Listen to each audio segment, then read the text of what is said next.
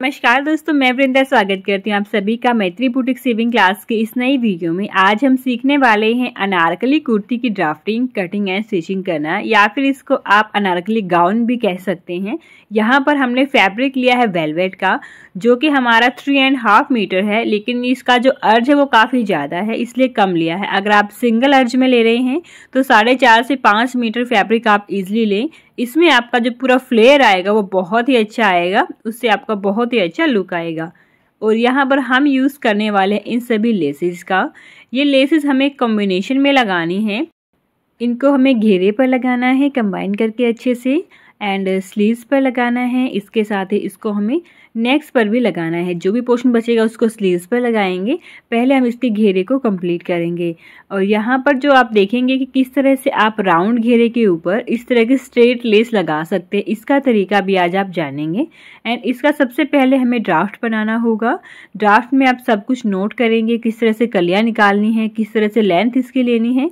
तो देखिए ये हमने पहले से ही ड्राफ्ट बनाया हुआ है। सबसे पहले बात करते हैं मेज़रमेंट की। मेज़रमेंट में हमें चाहिए कुर्ती की लंबाई, कुर्ती का चोली वाला पोर्शन बॉटम का यहाँ पर हमने लिखा तो बॉटम का मतलब यहाँ पर है चोली से जो नीचे फ्लेयर रहेगा, अनारकली का, वो कितना रखना है उसकी लंबाई।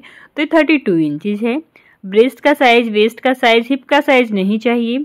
स्लीव्स की लेंथ एंड मोहरी रखेंगे। फ्रंट का नेक बैक का neck shoulder and arm hole ये सभी मेज़रमेंट हमें चाहिए होंगे इस पूरी कुर्ती को बनाने के लिए। तो सबसे पहली प्रॉब्लम इसमें आती है कि कलियाँ कैसे निकालनी हैं? तो देखिए, कलियों हम जो निकाल रहे हैं यहाँ पर, वो हमारी रहेंगी बारह कलियाँ। बारह के अलावा हम यहाँ पर सोलह कलियाँ, बीस कलियाँ, चौबीस कलियाँ भी इस तरह से भी रख सकते हैं। ये डिपेंड करता है कि फैब्रिक आपके पास कितना है। जितना ज़्यादा फैब्रिक होगा, उतनी ही ज़्यादा कलियाँ निकलेंगी, उतना ही ज़्यादा हमारे नीचे से घेरा बन करके तैयार हो जाएगा। तो यहाँ पर देखिए फॉर्मूला आप अप्लाई कर सकते हैं। जो भी आपका कमर का साइज़ है, कमर मीन्स जहाँ पर भी आप की चोली जो है ख़त्म हुई है, वहाँ से आप कमर का साइज़ लेंगे। उसमें इंच का आप लूजिंग डालेंगे और जितनी भी कलियाँ आपको बनानी है, उससे आप डिवाइड कर देंगे।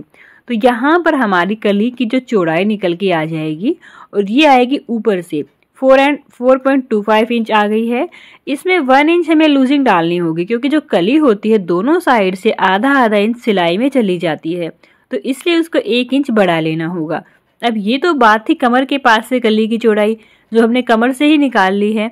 अब बात करते हैं जो नीचे से है रहेगा, वो कितना रहेगा? तो देखिए, कम से कम दस से आप शुरू करें और पच्चीस तक आप इजिली जा सकते हैं।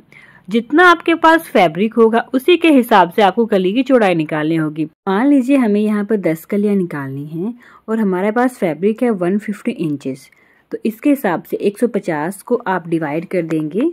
अपने दस कलियों से पंद्रह इंच निकल के आ जाएगा। मान लीजिए तीन सौ इंच आपके पास है तो आप तीन सौ इंच को डिवाइड कर देंगे जितनी भी कलियाँ आप निकाल रहे हैं, मान लीजिए आप दस कलियाँ निकाल रहे हैं तो तीस इंच आपका निकल के आ जाएगा। तो इस तरह से हल्का कैलकुलेशन हमें मिल जाएगी कि कितना इंच का कपड़ा हमारे पास है और कली की नीचे से चौड़ाई हमें कितना लेनी है। अब ये हमारा चोली वाला पोर्शन है। जो भी चोली की लेंथ होगी, उसमें एक प्लस करके लेंगे, क्योंकि आधा इंच हमारा नीचे से जाएगा, आधा इंच हमारा शोल्डर के पास से जाएगा। वन एंड हाफ़ इंच का आप यहाँ पर डाउन लगाएँगे। बाकी जब कटिंग करेंगे तो इन सभी चीज़ों को अच्छे से समझेंगे।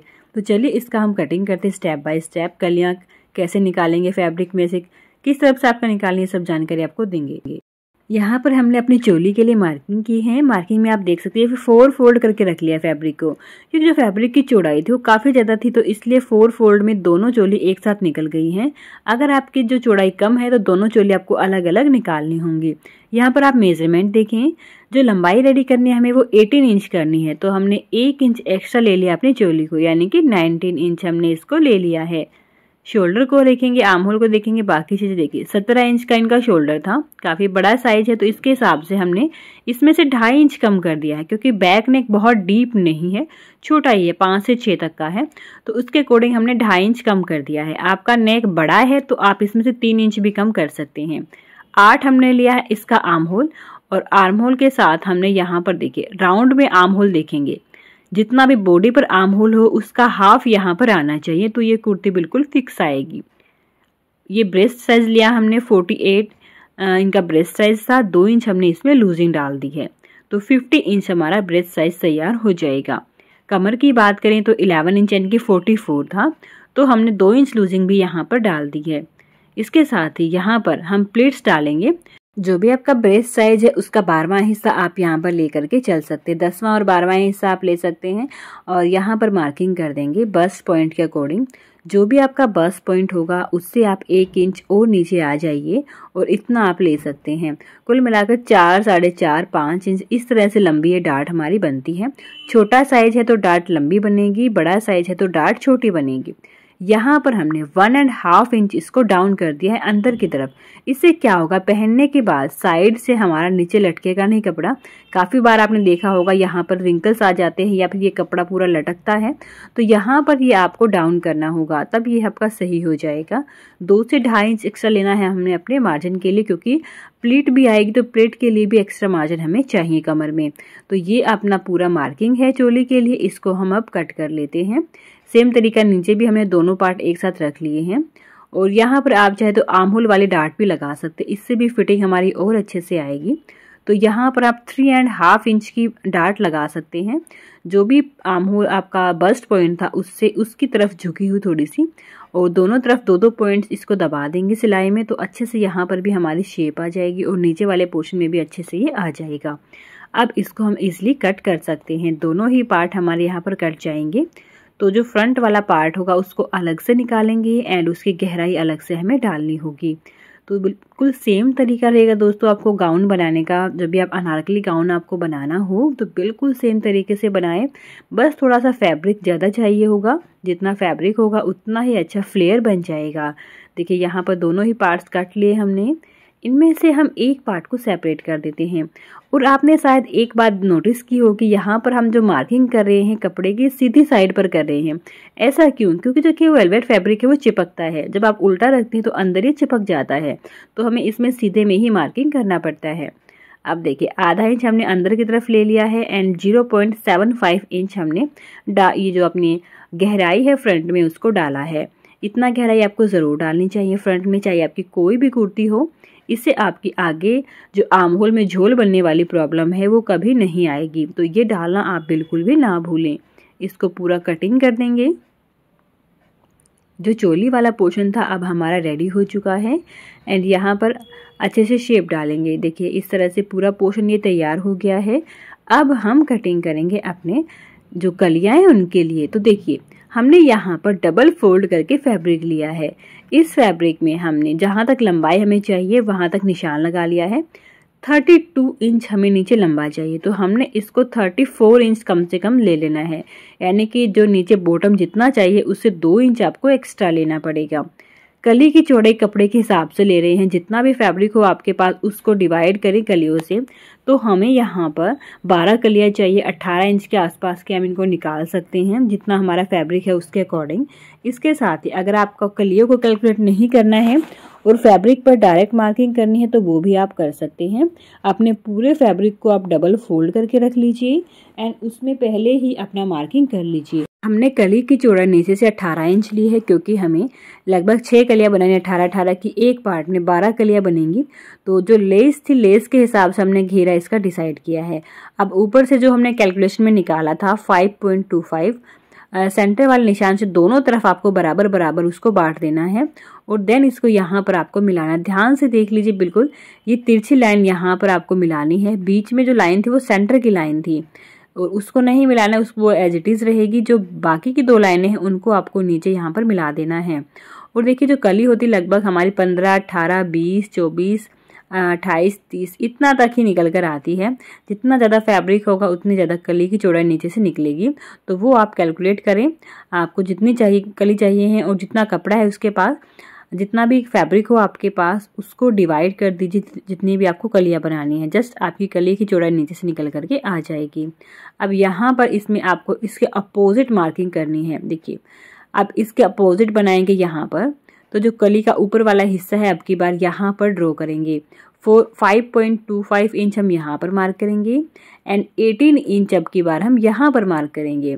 इससे हमारी फैब्रिक की वेस्टेज नहीं होगी, आप डायरेक्ट मार्किंग कर सकते हैं।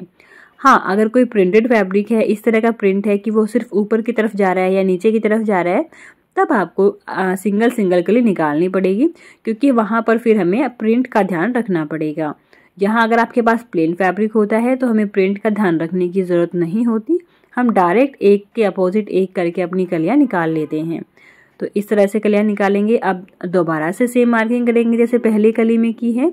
यहाँ पर 5.5 इंच लगा लेंगे 5.25 इंचेस एंड नीचे की साइड अपना 18 इंच पर मार्क कर देंगे।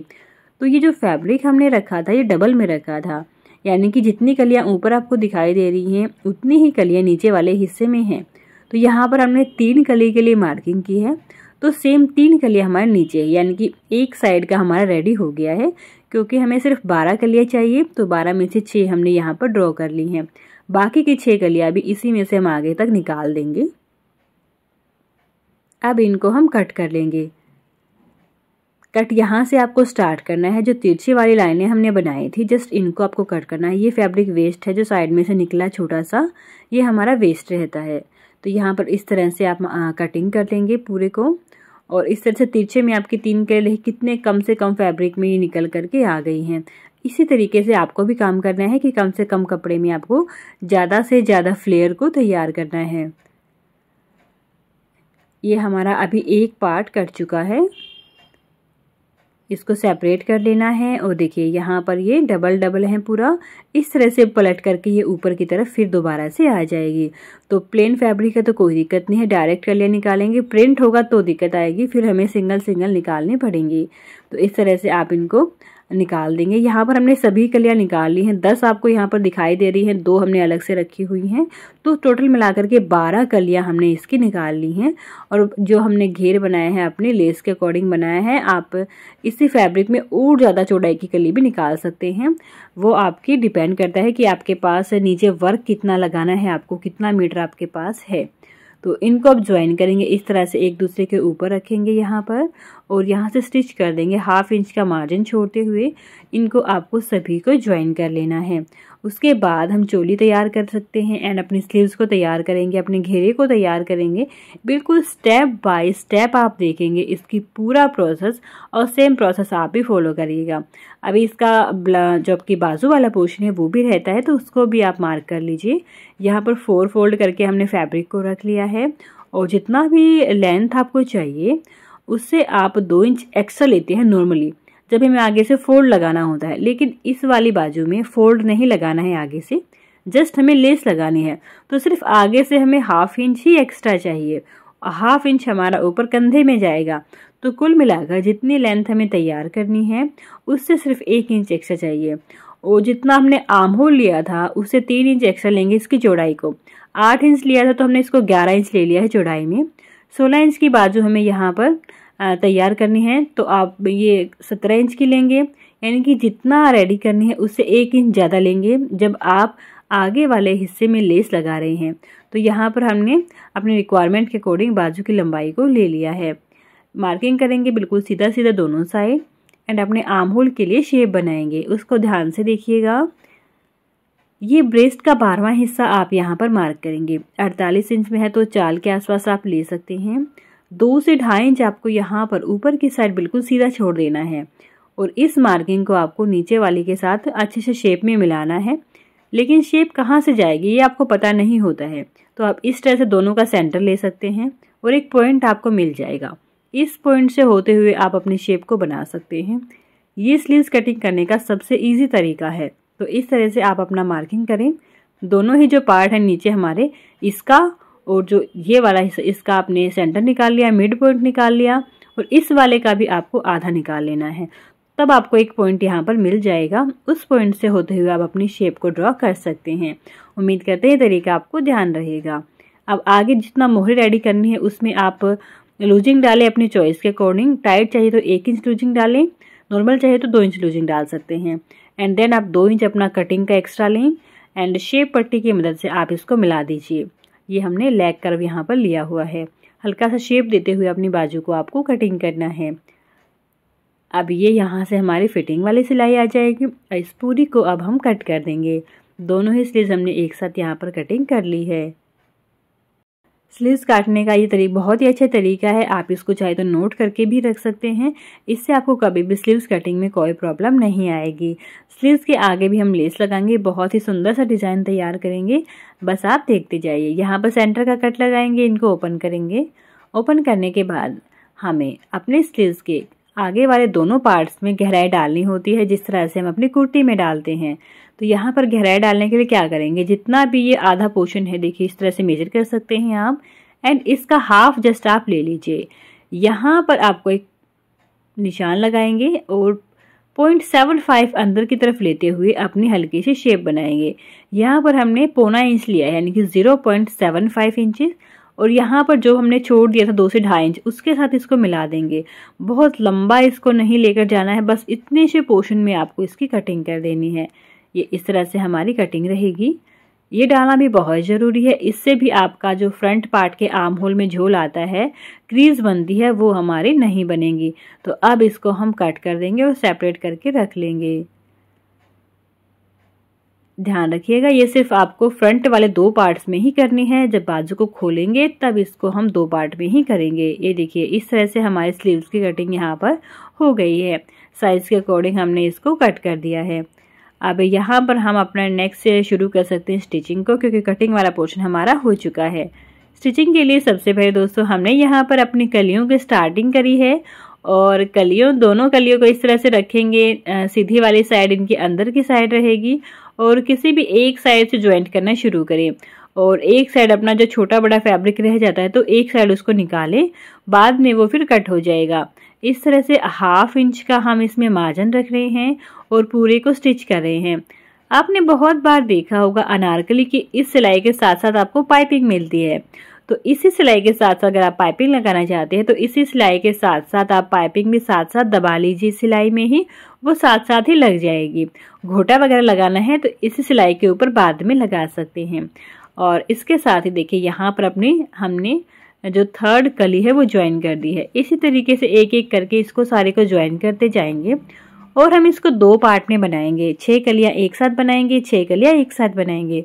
दोनों पार्ट को हम इसमें अलग अलग तैयार करेंगे। देन हम इसको चोली के साथ ज्वाइंट करके अपना फिटिंग लगाएँगे। तो यहाँ पर तीन का सेट हमने बना दिया, देखिए इस तरह से। बिल्कुल सेम तरीके से हम बाकी की कलियों को भी ज्वाइन कर लेंगे। देखिए इस तरह से आ जाएगा। ये हमने एक सेट तैयार कर दिया जो कि हमारा छः कली का है। बाकी का दूसरा भी बिल्कुल सेम तरीके से हमने यहाँ पर तैयार कर लिया है और उसको देखिए आप कैसे हमें उसको ज्वाइंट करना है। ज्वाइंट करने से पहले हमें अपनी चोली वाले पोर्शन को भी तैयार करना होगा। उसके लिए सबसे नेक कटिंग करेंगे सबसे पहले। नेक कटिंग के लिए हमने यूज़ करे हैं पेपर फ्यूजिंग का। आप चाहे तो पेस्टिंग का यूज़ भी कर सकते हैं क्योंकि वेलवेट बहुत हैवी है ऑलरेडी तो इसलिए फ्यूजिंग हम लाइट लगा रहे हैं। यहाँ पर आधा इंच हमने एक्स्ट्रा लिया है जो हम एक्स्ट्रा लेते हैं अपनी शोल्डर में जाने के लिए। और नेक की विथ थोड़ा ब्रॉड रखना है तो फोर के नियर रखी है हमने। आप अपने साइज़ के अकॉर्डिंग यहाँ पर रखें। यहाँ से लेंथ लेंगे जितना भी गला हमें तैयार करना है। तो फ्रंट जो नेक हमारा रहेगा, वो वी नेक रहेगा, थोड़ा डीप रहेगा। और यहाँ पर हम मार्किंग करेंगे नाइन इंचेस पर। तो ये हमारा वी नेक हो जाएगा। यहाँ पर सबसे पहले वी नेक की ड्रॉ करने के लिए आप एक स्ट्रेट लाइन लगा दीजिए। लेकिन इस तरह का स्ट्रेट नेक हमें नहीं रखना होता है, क्योंकि अच्छा नहीं लगता है कुर्तियों में। तो आप इसको हल्का सा नीचे की तरफ़ इस तरह से करो बनाएँगे। ये हल्का सा शेप आपकी आ जाएगी। तो आधा से पौना इंच के आसपास, यानी कि पॉइंट सेवन फाइव इंच तक भी आप इसको अंदर से डाउन कर सकते हैं। तो इस तरह का वीनेक चलता है हमारी कुर्तियों के साथ। तो ये वाली शेप आप बनाएँ तो ज़्यादा अच्छे से हमारी शेप उभर कर आएगी। जब ये नेक तैयार हो जाएगा, तब इसकी शेप को आप देखें। किस तरह से आपको एक बेहतरीन सा शेप मिलता है। आप यहाँ पर एक्स्ट्रा को कट कर लेंगे एंड वन इंच के नियर हमने ये अपना नेक जो है निकाल लिया है। ऊपर से इसको कट करके बिल्कुल बराबर कर देंगे। अब देखिए, इस तरह का हमारा शेप आएगा। ये बिल्कुल वी नेक नहीं है, हल्का सा नीचे हमने डाउन किया है बीच में से इसको। तो ये जो शेप होती है, वो परफेक्ट लगती है हमारी कुर्तियों के साथ। इसी तरीके से अब हम बैक वाला कटिंग करेंगे। बैक में हम राउंड रखेंगे। यहाँ पर भी सेम मार्किंग करेंगे, सबसे पहले स्ट्रेट मार्किंग करेंगे एंड हाफ़ इंच छोड़ देंगे जो कि हमें शोल्डर में लेना है। उसके बाद यहाँ से आप डेप्थ देखेंगे कितना आपको रखना है। तो ये हमें रखना है सिक्स इंचज सिक्स पर एक मार्क लगाएँगे एंड जो गले की चौड़ाई है वो सेम रखेंगे जैसे हमने अपने फ्रंट में रखी है। ऊपर से दोनों की चौड़ाई जो है सेम होनी चाहिए। इस तरह से मार्किंग कर लेंगे। इनको आपस में मिला देंगे। थोड़ा सा ब्रॉड नेक की डिमांड है इस इस वाली कुर्ती के लिए तो हमने चौड़ाई थोड़ी ज़्यादा रखी है, क्योंकि हैवी साइज़ के अकॉर्डिंग नेक हमने यहाँ पर चार तक रख लिया है। कम साइज़ है तो आप तीन इंच तक, सवा तीन इंच तक, साढ़े तीन इंच तक भी रख सकते हैं। अब यहाँ हम कटिंग कर देंगे। कटिंग के टाइम ध्यान रखेंगे, अच्छी फिनिशिंग के साथ कटिंग करें। जितना अच्छी फिनिशिंग होगी कटिंग में, उतना ही फिनिशिंग हमारी बाद में भी आएगी। अब सेम इसको वन इंच का मार्जिन छोड़ते हुए बाहर से भी कट कर लेंगे। हमारा नेक्स्ट स्टेप है इसको पेस्ट करने का। तो यहाँ पर फैब्रिक के ऊपर आपको इस तरह से स्ट्रेट लाइन ड्रॉ करनी है। और जितना वीर्थ आपने रखी है, वो आप मार्क कर लीजिए यहाँ पर। ये बहुत ही अच्छा तरीका है नेक को पेस्ट करने का। देखिए, जो भी आपने गैप रखा होगा, हमने आठ इंच रखा था तो एट इंच पर हमने यहाँ पर मार्किंग कर ली। और इन मार्किंग के ऊपर अपने गले को रख दीजिए इस तरह से। अब देखिए, ध्यान से इसको पेस्ट कैसे करना है? शुरुआत में जो ऊपर के दोनों किनारे हैं हमारे, यहाँ पर प्रेस आप लगाइए। इससे क्या होगा? किनारे हमारे फिक्स हो जाएँगे और हमारा गला फैलेगा नहीं। तो अब आराम से हम पूरे नेक में पेस्ट कर सकते हैं। देखिए, इस तरह से पूरे नेक को हमें तैयार कर लेना है और अब यहाँ पर मार्जिन छोड़ते हुए कट कर देंगे। रफली यहाँ पर कट करना है, बाद में एक्स्ट्रा जो होगा हम थोड़ा बाद में भी कट कर देंगे। बहुत कम मार्जिन ना रखें कि आपको फोल्ड करने में दिक्कत आए। थोड़ा अच्छा खासा मार्जिन रखें, आधा इंच तक से ज़्यादा ही रखें, आधा से। सेम आपको बैक नेक के लिए करना है। देखिए, यहाँ पर भी मार्किंग कर ली हमने। सेम उतना ही आठ इंच पर। जो आपको दिक्कत आती है कि जो शोल्डर रहता है आपका गला बनने के बाद एक शोल्डर आपका छोटा रह जाता है, एक शोल्डर आपका बड़ा निकलता है तो वो यही रीज़न होता है कि जो गले की चौड़ाई दोनों की अलग अलग रखी गई है। इस वजह से एक छोटा रह जाता है, एक बड़ा रह जाता है। तो आप पहले ही फिक्स करके रखेंगे दोनों की चौड़ाई को तो वो दिक्कत आपको नहीं आएगी। यहाँ पर हम बैक नेक को भी कट कर लेते हैं रफली ऊपर से जो हमने लाइन लगाई थी, उसी पे से आप कट कर देंगे। अब हमारे दोनों ही नेक तैयार हैं। अब इनको हमें स्टिच करना है। तो सबसे पहले जो मार्जिन हमने रखा था, उसको हम स्टिच करेंगे। और यहाँ वेलवेट ड्रेस था तो हमने जो फैब्रिक लिया है पेस्ट करने के लिए, वो वेलवेट का नहीं लिया है, क्योंकि वो बहुत ही हैवी हो जाएगा दोनों के साथ। इसलिए एक लाइनिंग हमने ले ली है जस्ट अपने यहाँ पर गले को बनाने के लिए। देखिए, इस तरह से सिलाई लगाएँगे पूरे में। एंड अब आप एक्स्ट्रा को कट कर सकते हैं। अगर आप शुरुआत में ही कम मार्जिन लेंगे तो फोल्ड करने में बहुत दिक्कत आएगी। तो मार्जिन आप अच्छा खासा लीजिएगा। इस तरह से बाद में पूरे को कट करके फिनिशिंग कर लेंगे। अब सेम तरीके से हमारा जो बैक वाला नेक है, उसको भी तैयार कर लेते हैं। एक टाका आप यहाँ पर लगा सकते हैं। इससे क्या होगा, जब हम बाद में टाका लगाएँगे तो बिल्कुल सेम इसके ऊपर से लगाएँगे। इससे इजी रहता है। सेम अब इसको भी हमें फोल्ड करके रेडी कर देना है। एक्स्ट्रा मार्जिन को काट देना है। हमारे दोनों ही नेक यहाँ पर काफ़ी अच्छी फिनिशिंग के साथ तैयार हो गए हैं। आप एक एक करके इनको अपनी कुर्ती के साथ लगाते हैं। बिल्कुल एक एक स्टेप आप ध्यान से देखिए, बहुत अच्छे तरीके से आप सीख जाएँगे। सबसे पहले सेंटर निकालेंगे गले का। बीचों बीच इस तरह से रखेंगे फोल्ड करके और यहाँ पर एक कट लगाएँगे। अब जो अपना चोली वाला पोर्शन है, देखिए यहाँ पर। इसका भी आपको सेंटर लेना होगा। बिना सेंटर लिए आप कोई भी नेक नहीं लगाएँगे। नहीं तो थोड़ा बहुत तिरछा जाएगा नेक तो अच्छा नहीं लगेगा पहनने के बाद। तो सबसे पहले सेंटर निकालना बिल्कुल भी ना भूलें। पूरी चोली में, पूरी कुर्ती में हो, चाहे चोली में हो, कोई भी ड्रेस हो ब्लाउज हो, कुर्ती हो, कुछ भी हो, चाहे आपको नेक का सेंटर हमेशा लेना है। इस तरह सेंटर हो जाने के बाद यहाँ कट से कट मिलाते हुए इसको ऐसे रखेंगे। ध्यान रखिएगा, कोई भी गले का साइड ऊपर ना निकले। और ना ही छोटा पड़े, बिल्कुल शोल्डर के बराबर रहे। यहाँ पर एक स्टिच लगा देंगे और चाहे तो यहीं से हम साइड में आ सकते हैं। इस तरह से स्टिच लगाएँगे। स्टिच लगाते हुए ध्यान रखेंगे छोटे छोटे पोर्शन में स्टिच करें और अपनी जो शेप है वो ख़राब नहीं होनी चाहिए। तो बहुत बड़े पोर्शन में एक ही बार स्टिच कर देंगे तो दिक्कत आएगी। छोटे छोटे पोर्शन में स्टिच करें, देन अपने फुट को उठाएँ, देन अगेन आप स्टिच करें। देखिए, इस तरह से फुट को उठाएँगे, स्टिच करेंगे, फिर फुट को उठाएँगे, फिर स्टिच करेंगे। यानी कि छोटे छोटे पोर्शन में आप इसको स्टिच करें। ये देखिए, बाकी का जो हाफ़ एरिया था वो भी हमने कवर कर दिया है। अब इसको हम अंदर से कट कर देंगे। ध्यान रखिएगा, गले की सीधी वाली साइड, कुर्ती के सीधी वाली साइड पर लगाई गई है, ताकि फोल्ड होने के बाद ये हमारे उल्टी साइड चली जाए। तो साइड्स का आप ज़रूर ध्यान रखें। अब यहाँ पर एक सिलाई हम इसके पास से लगाएँगे। मार्जिन को हमने अपने राइट हैंड की तरफ़ रखा है, यानी कि जो पट्टी है हमारी, इसी की साइड मार्जिन को दबाया है, तभी हमारे अच्छी शेप में जाएगा। इस तरह से स्टिच लगाएँगे। अब जब इसको हम फोल्ड करेंगे तो बहुत ही इजीली फोल्ड हो जाएगा। अब सेम तरीके से हम ये फ्रंट वाला नेक भी लगाएँगे। बिल्कुल सेम तरीका रहेगा, जैसे कि हमने अपना बैक वाला लगाया है। सबसे पहले सेंटर के लिए करेंगे। बिल्कुल कॉर्नर पर आ जाइए। देन हम अपना साइड में आ जाएँगे। इस तरह से। ये स्टिच भी हम लगा देते हैं। हमने टाँके को थोड़ा छोटा कर लिया है अभी। यहाँ पर बहुत बड़े टाँके से सिलाई नहीं डालनी है आपको, नहीं तो बाद में वो दिखाई देती है।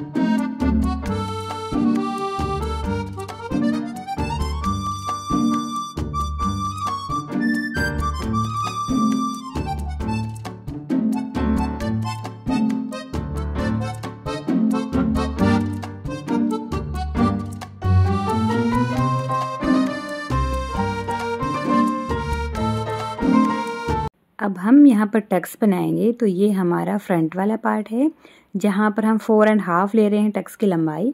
आप अपने बस्ट पॉइंट के अकॉर्डिंग ले सकते हैं बस्ट पॉइंट से एक इंच नीचे। ये बड़े साइज़ में छोटी आएगी लंबाई में, छोटे साइज़ में बड़ी आएगी। इस तरह से दोनों तरफ़ से हम आधा आधा इंच इसको सिलाई में लेंगे। सेम तरीके से हमें अब इसके दूसरे साइड भी बना लेनी है टक और यहाँ पर हम इसको स्टिच करेंगे। स्टिच करते टाइम हम ध्यान रखेंगे, यहाँ पर आप डबल स्टिच लगाएँगे स्टार्टिंग में एंड देन हम इसको पूरा करेंगे। इसके बाद पूरा करने के बाद एक स्टिच इसके ऊपर आपको और लगानी है। हमेशा चाहे ब्लाउज़ में बनाएँ, चाहे कुर्ती में बनाएँ, हमेशा अपने टक को दो बार आपको स्टिच करना है। अब सेम आपको दूसरी साइड भी बना लेनी है। यहाँ पर भी हम मार्किंग कर लेते हैं इसकी। और सेम तरीके से यहाँ पर भी इसकी सिलाई लगा देंगे। यही दो टक्स हम पीछे की साइड लगाएँगे, पर पीछे वाले टक्स की लंबाई आप बढ़ा सकते हैं अकॉर्डिंग टू नेक अगर डीप नेक है तो छोटी बना सकते हैं, छोटा गला है तो आप टक्स को बड़ी बना सकते हैं। ये हमने, आप जो आम होल वाली है, उनके लिए भी मार्क कर दीजिए। तीन से साढ़े तीन इंच में हम इनकी मार्किंग कर सकते हैं। यहाँ पर एक साइड मार्किंग है तो इसी तरीके से हम दूसरी साइड भी इसकी मार्किंग कर लेंगे। आर्मोल वाइट टक्स बनाने का फ़ायदा तब ज़्यादा होता है जब हमारा अपर ब्रेस्ट और लोअर ब्रेस्ट में बहुत ज़्यादा गैप हो, दो से तीन इंच का गैप आ जाए तो उस केस में हमें आर्म होल में भी प्लेट डालनी चाहिए। यहाँ पर भी अपर ब्रेस्ट और लोअर ब्रेस्ट में काफ़ी गैप है, इसलिए हम आर्म होल वाले टक को भी डाल रहे हैं। इससे क्या होगा, हमारे आर्म होल जो झोल आता है, फुग्गा बनता है, वो यहाँ पर नहीं बनेगा तो ये प्रॉब्लम हमें नहीं आएगी। तो यहाँ पर भी सेम तरीके से अपनी डार्ट लगाएँगे बट ये डार्ट बहुत बड़ी नहीं रहेंगी, थोड़ा आधा इंच से थोड़ा सा कम ही रहेंगी। जबकि जो नीचे वाली डार्ट हैं, वो थोड़ा सा आधा इंच तक हमने बना दी हैं। बिल्कुल सेम सेम हमने दोनों तरफ़ मार्किंग कर दी है। आप इनको भी इस तरह से उठाना है। और आप यहाँ से स्टिच करना भी स्टार्ट कर सकते हैं। इस तरह से, ये देखिए, इतना हमने इसको सिलाई में ले लिया है। यहाँ पर भी हम डबल स्टिच लगाएँगे। और साथ में ये वाली टक भी बनाएँगे। देखिए दोस्तों, चोले बनाने के आपके दो से तीन तरीके होते हैं। आप प्रिंसेस कट चोली भी बना सकते हैं, आप बिल्कुल बिना टक वाले चोली भी बना सकते हैं और इस तरह से दो टक्स के साथ, यानी कि आम होल और कमर वाली के साथ भी बना सकते हैं। सिंपल चोली उनमें बनाएँगे जिनका साइज़ कम होता है ब्रेस्ट का। लेकिन हैवी ब्रेस्ट में आपको प्रिंसेस कट या फिर इस तरह की डार्ट के साथ चोली बनानी चाहिए, उसमें फिटिंग हमारी ज़्यादा अच्छे से आती है। अब देखिए, ये फ्रंट वाला पार्ट है, हमारा रेडी हो गया है। अब सेम तरीके से चलिए हम अपना बैक वाला पार्ट भी यहाँ पर रेडी करेंगे। और साथ में हमें फ्रंट वाले में यहाँ पर लेसेस को भी लगाना है। ये हमारा बैक वाला पार्ट है तो यहाँ पर हम थोड़े जो टक्स है, उसकी लंबाई ज़्यादा लेंगे। फ्रंट में हमने फोर एंड हाफ़ लिया था तो यहाँ पर जो गला हमने रखा वो चेंज का है ओनली छोटा या बम्बा नहीं है। तो हम टक्स की लंबाई को बढ़ा लेते हैं। इसी तरीके से आपको भी इसको बढ़ाना होगा। तब आपकी फिटिंग यहाँ पर ज़्यादा अच्छे से आएगी। बैक की टक्स हमेशा थोड़ा सा बड़ी रहती हैं। यहाँ पर इस तरह से कट लगाएँ। अब इन कट्स को उठाकर हम यहाँ पर अपनी सिलाई लगा देंगे। करीबन आधा इंच की ही लगाई है हमने ये टक्स भी। और जब भी कटिंग करेंगे तो टक्स अगर आप लगा रहे हो तो एक्स्ट्रा अपना मार्जिन लेना बिल्कुल भी ना भूलें। नहीं तो आपका कमर से फैब्रिक कम पड़ जाएगा। इस तरह से टक्स हमने यहाँ पर लगा दी हैं।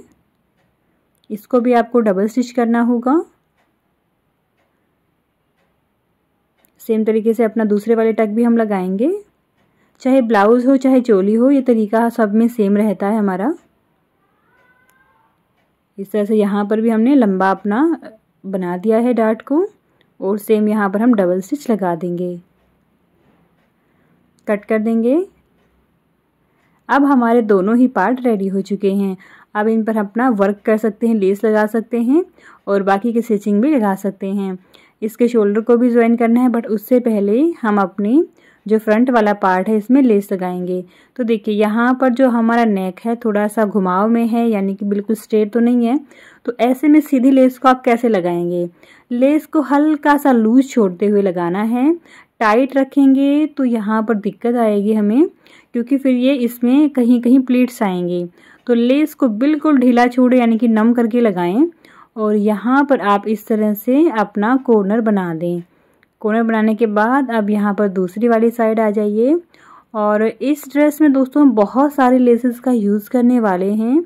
सेम आप घेरे पर भी सीखेंगे किस तरह से लगानी चाहिए। तो देखिए, बिल्कुल छोटे छोटे स्टेप्स में लेस को बिल्कुल ढीला छोड़ते हुए आपको लगाना है। इससे आप बहुत ही अच्छे तरीके से अपना लेस को लगा पाएँगे। अब सेम आपको क्या करना है? जो बाहर वाले स्टिच है, उसको लगा देना। है देखिए, अपने आप ही ये फोल्ड हो जाएगी। अब हमें यहाँ पर दूसरी लेस में साथ साथ में लगानी थी तो हमने इसको भी इसके नीचे हल्का सा दबा दिया है और अब हम इसके ऊपर स्टिच लगा सकते हैं। अगर सिंगल लेस लगानी है तो डायरेक्ट आप पहली वाली लेस के ही कॉर्नर से स्टिच कर सकते हैं। हम दूसरी भी इसके साथ साथ ही लगा देते हैं। इसको भी आपको लूज ही रखना है, बहुत टाइट नहीं खींचना है। यहाँ कॉर्नर पर आकर इसको फोल्ड करेंगे। ऊपर वाली लेस में भी आपको हल्का सा कोना नज़र आ रहा होगा तो उठा हुआ है थोड़ा सा।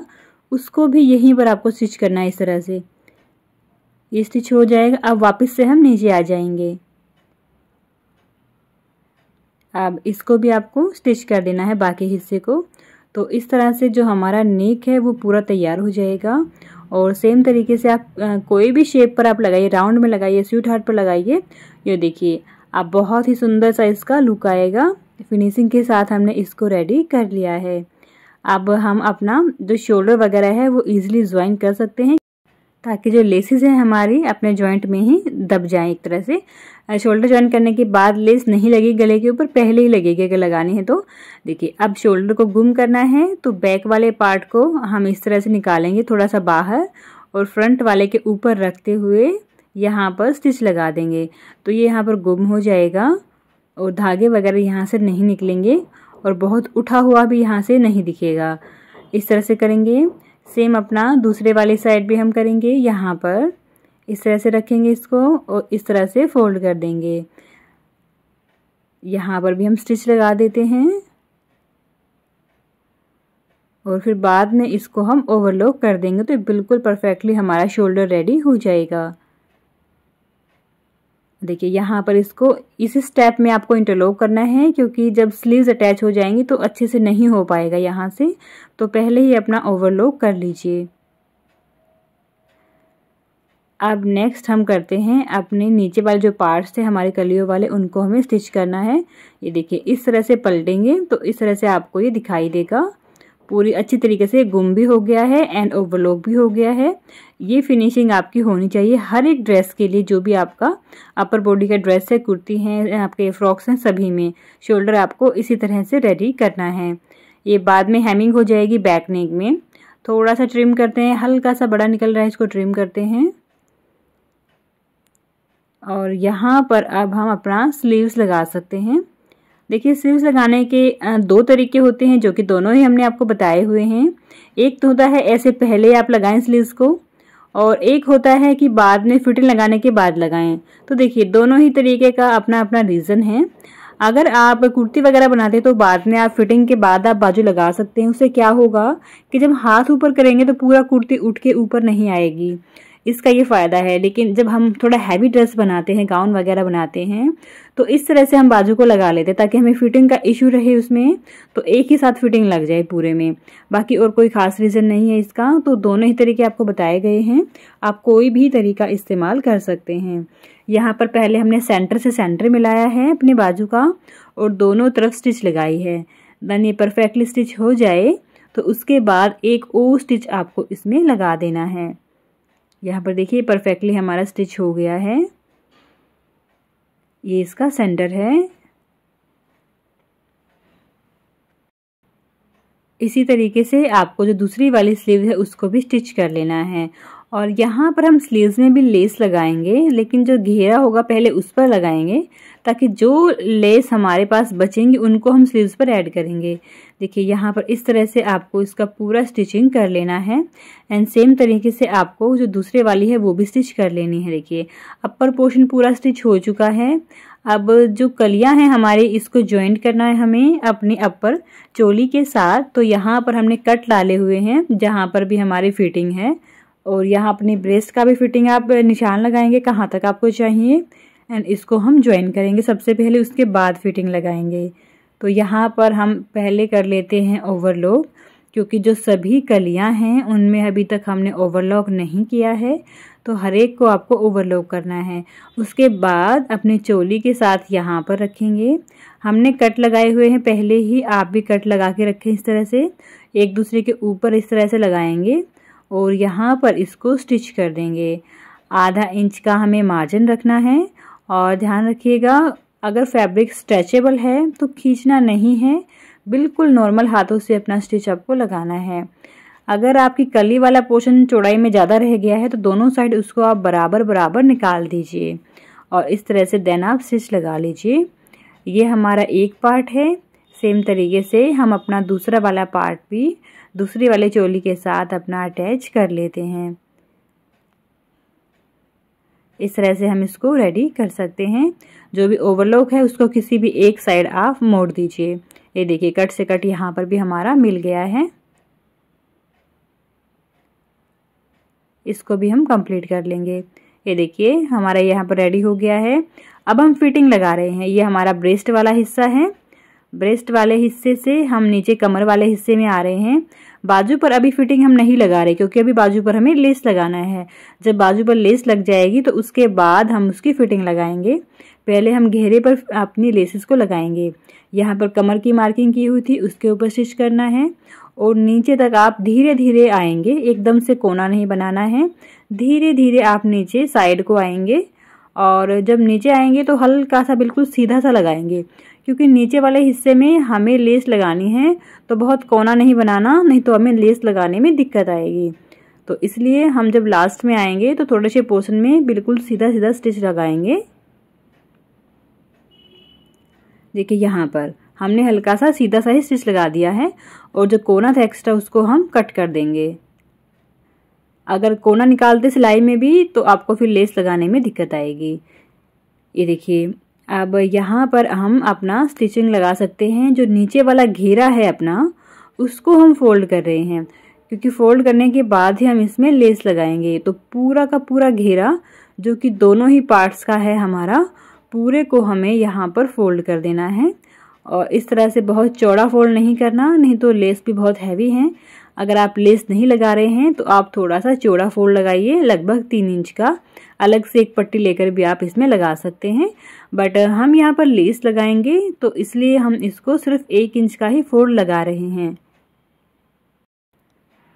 देन यहाँ पर हम सबसे पहली लेस लगा रहे हैं और बिल्कुल किनारे से सिलाई लगाते हुए इसको लगाएँगे। इसको लगाते हुए एक ध्यान आपको रखना है कि नीचे वाला जो फैब्रिक है, वेलवेट का, वो बिल्कुल भी ना दिखे। पूरा कवर हो जाए। इस तरह से कॉर्नर से लेस लगाएँगे और ये जो लेस रहेगी वो तो बहुत ईजिली लग जाएगी, क्योंकि सबसे नीचे हमारा लगभग इक्वल पार्ट है और लेस की चौड़ाई बहुत ज़्यादा भी नहीं है। दिक्कत आएगी इससे ऊपर लगाने में तो उसको ध्यान से देखिए कैसे लगाना है। यहाँ पर एक्स्ट्रा को हम कट कर देते हैं और इधर हम ये बॉर्डर वाली लेस लगाएँगे जो काफ़ी चौड़ी है। तो पहली वाली लेस को हल्का सा इसके नीचे हम दबा रहे हैं ताकि दोनों लेस हमारे एक साथ लग जाएँ। और ये लेस लगाते हुए आप ध्यान रखेंगे कि लेस को हल्का सा ढीला छोड़ेंगे। अगर ढीला नहीं छोड़ा तो पूरा का पूरा जो नीचे सा पोर्शन है आपका खिंच जाएगा, सिलवटें आ जाएँगी, क्योंकि जो हमारा घेरा है, वो ऊपर की तरफ़ कम होता जा रहा है। तो ऐसे में जो लेस है, वो ऊपर की तरफ़ आपकी चुन्नटें आती जाएँगी। तो यहाँ पर अगर आप ढीले हाथों से लगाएँगे, बिल्कुल इसको लूज छोड़ते हुए लगाएँगे तो आपको ये दिक्कत नहीं आएगी। तो दोनों ही लेस हमने यहाँ पर एक ही स्टिच में इनको स्टिच कर दिया है। इधर इसको हम एक्स्ट्रा को कट कर देंगे, जो कि हम अपना स्लीव्स में इसको बाद में यूज़ कर देंगे। इस तरह से अब इसका जो नेक्स्ट लेस रहेगा, ये वाला रहेगा पैटर्न के अकॉर्डिंग और ये वाला लेस भी हम सिंगल स्टेप में लगाएँगे। हल्का सा किनारी एक दूसरे के साथ इस तरह से दबाव में लेते हुए। तो ये लेस आपको बहुत ही ढीले हाथों से लगानी है, आप देख रहे हैं। यहाँ पर कितना लूज ये पड़ रही है बट हम इसको सेट करने की कोशिश कर रहे हैं। जो चौड़े वाली लेस है उसको उसको आपको ध्यान रख देखिए, इस तरह से लूज किया हमने, बिल्कुल लूज हाथों से इसको लगाया है। ये देखिए, इस तरह से।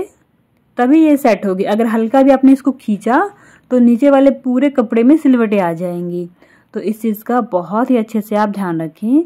बाकी की लेयर्स को भी हम इसी तरीके से लगा देंगे। करीबन छः लेयर्स हमें इसमें लगानी है। ये घेर हमारा लगभग साढ़े पाँच मीटर के आसपास रेडी हुआ है। एक और चौड़ी लेयर्स हमारी यहाँ पर लग रही है। इसकी भी चौड़ाई अच्छी खासी है तो इसको तो और भी ध्यान रखना होगा, क्योंकि हम अभी ऊपर आते आते हमारी कली की चौड़ाई कम हो रही है। तो इसको भी बहुत ही ढीले हाथों से हमें लगाना है। देखिए, इस तरह से आई होप आपको ये चीज़ समझ में आ गई होगी। तो बस आपको इन छोटी छोटी बातों का ही ध्यान रखना है। कभी भी एक अगर आप घेरे पर लगाएँ लेसेस को। और ये तो हमारा जो घेरा है वो कलियों वाला है। लेकिन अगर आप अम्ब्रेला वगैरह घेरा ले रहे हैं तो इस तरीके का, का यूज़ नहीं होगा।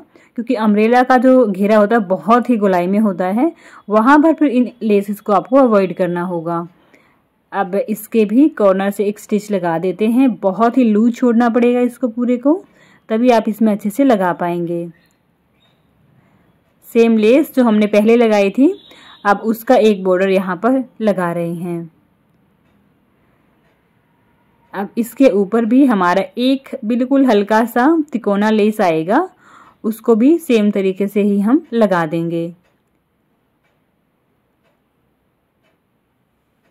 और यही पैटर्न हम कोशिश करेंगे स्लीव्स पर भी रहे, इसी से मिलता जुलता देखिए।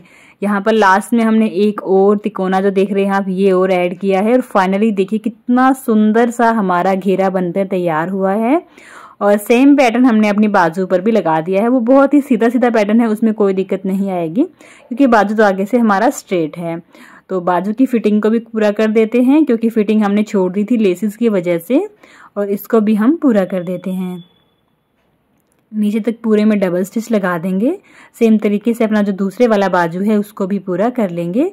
और इसी के साथ हमारा पूरा जो अनारकली कुर्ती या फिर गाउन आप कह सकते हैं, बनकर तैयार हो जाएगा। आपको इसको पहनाकर भी दिखाएँगे क्योंकि हमारे एक कस्टमर के लिए है। तो आपको उनको पहनाकर भी दिखाएँगे। उनको ये बहुत ही ज़्यादा पसंद भी आया है और इसी वजह से उन्होंने बहुत सारे और भी ड्रेसेस हमसे रेडी करवाए हैं। ये देखिए, यहाँ पर लेसिस को ना मिलाना होगा।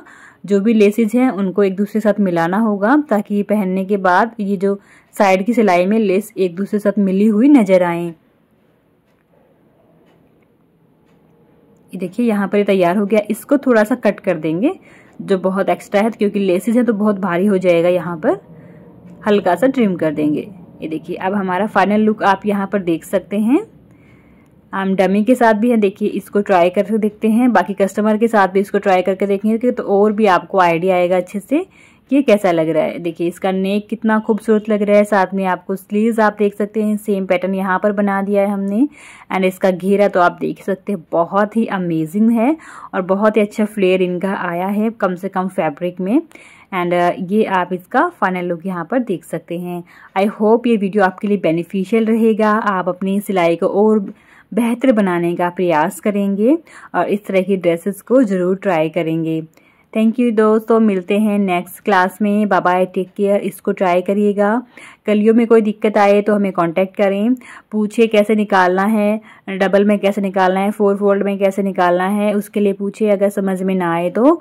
आप कोई भी डाउट आपका बचना नहीं चाहिए। आपको एक कुर्ती पूरी तरह से बनानी आ जाए, यही हमारी क्लास का पूरा उद्देश्य है। तो आई होप आपको ये समझ में आ गया होगा और कस्टमर के साथ भी आप फाइनल लुक देख सकते हैं, कितना खुश है ये। Bye bye, take care.